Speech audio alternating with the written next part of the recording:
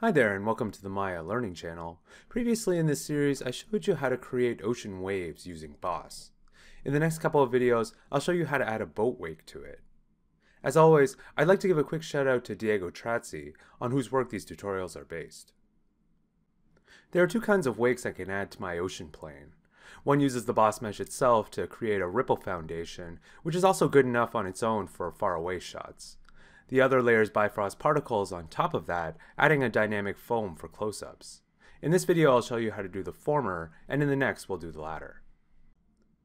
I'm going to start with the scene we created in part 2 by hiding the final result and showing the boss output playing it again. Next I'm going to half the wind speed on my spectral waves to make them a little gentler. No need to knock my boat around too much. I'm also going to start generating my results right from frame 1. This isn't so important for this tutorial, but will be in the next one, since Bifrost particles start calculating as soon as you hit play. Finally, I'm going to up my frame count to 320, since I'll need the extra frames for my bone animation. Then I'll just recache the waves out.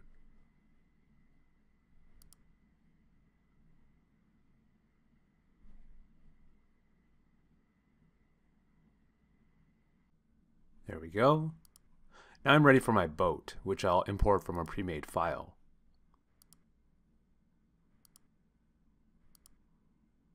At first the boat is huge, because if you recall from part 1, Maya defaults to 1 unit equals 1 centimeter. Since Boss assumes 1 unit equals 1 meter, I'll need to scale the boat down 100 times. That's better. Now in order to create a wake, the boat needs to be moving, so I'll just animate it driving from one end of the plane to the other.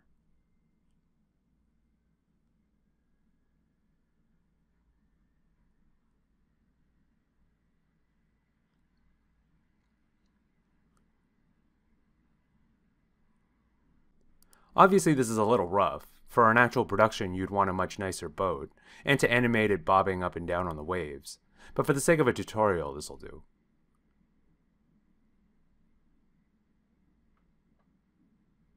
Now that my scene is set up, I can start on the water.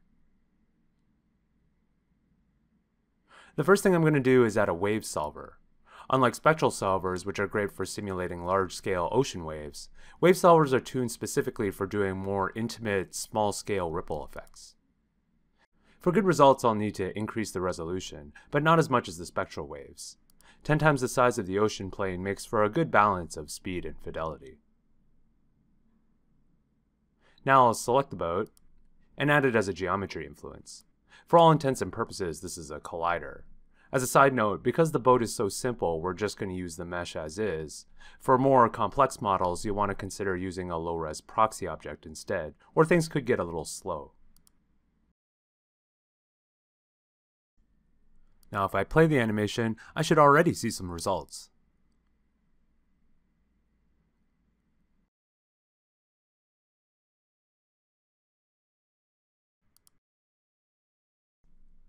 So as you can see, the boat is already generating a wake. If I select the GeoProperties node, I can even up the amplitude to accentuate it more.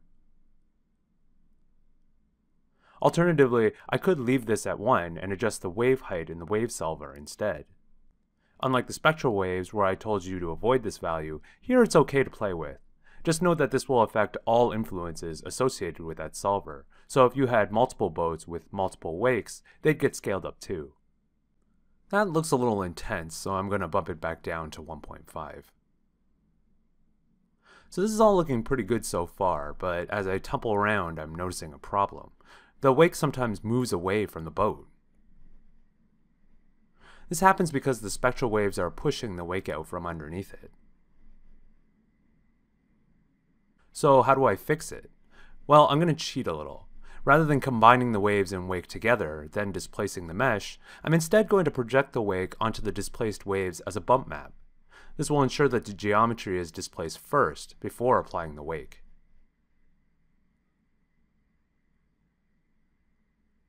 To generate the projection, I'm going to disable my spectral waves, but leave the wave solver in influence.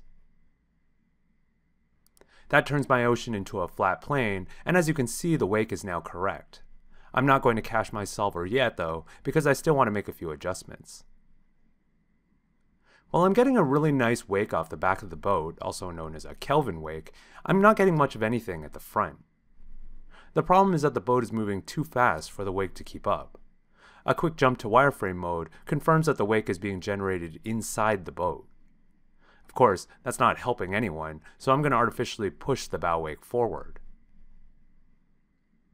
Going back to my GeoProperties tab, this time I'm concerned with two values, generator offset and collider offset.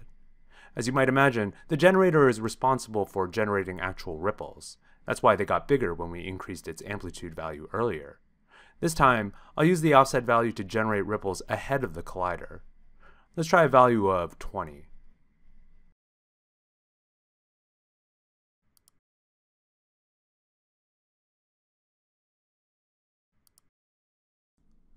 Well, that worked. The bow wake is certainly larger than before, but this is like comically large. With 20 units of space, the generator has too much room to ripple before hitting the boat. But if I pull the generator too far back again, we'll get the same problem as before. So the solution is to push the collider forward too. I don't want to push the collider right up against the generator though, otherwise there won't be any space for the ripples. Values of 12 and 8 should be good.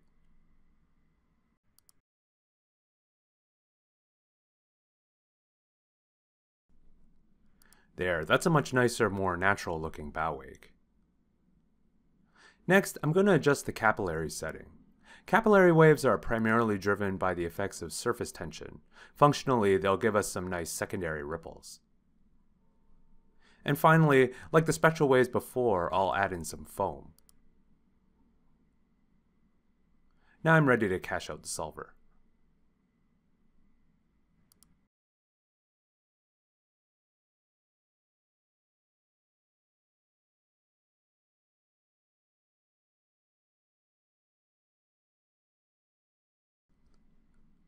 As usual, once the cache is complete, you'll see it down here in the cache attributes.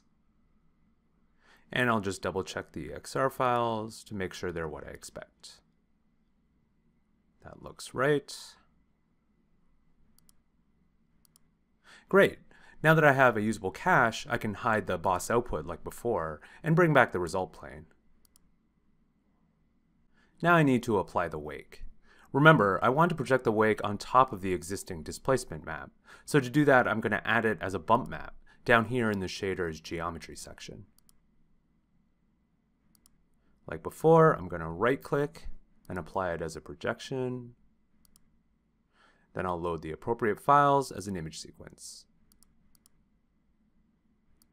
Just make sure to take the main cache and not the foam, which I'll deal with in a second.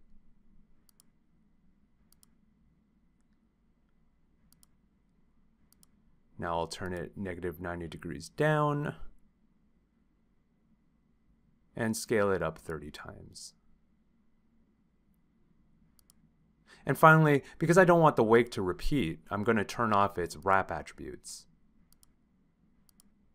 Great. Now if I render a random frame, I should be able to see the wake.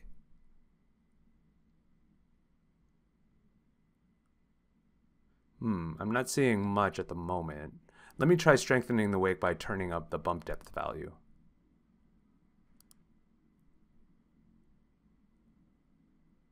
There it is.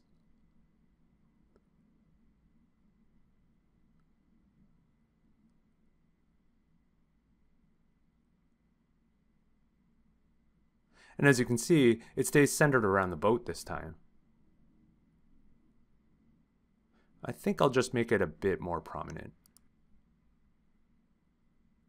Now to finish off, I need to add in my foam, but you'll recall that I already have foam for the spectral waves as well. I'll need to add these foams together just like the spectral displacements before. I'll start by temporarily disconnecting the current foam. Then I'll add the new foam as a projection just like before.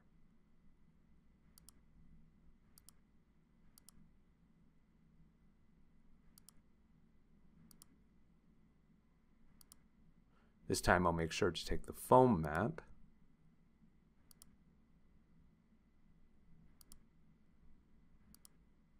I'll turn off wrap. and then rotate it down and scale it up.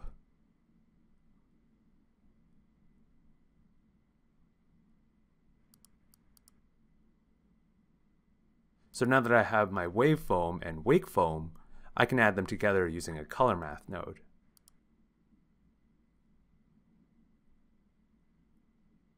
In this case, I want to use the alpha to control the brightness of the white foam.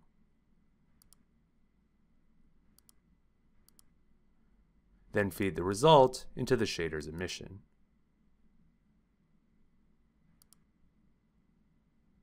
And there you have it. Now I have foam whitecaps over the wake. If I prefer, I can adjust the prominence of the foam via the image's alpha gain.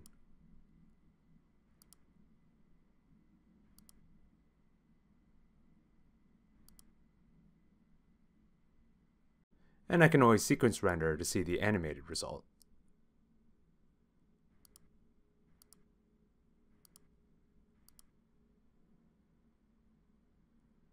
So that's it for my basic wake. Like I said before, it's a good foundation that might even be enough for distant shots.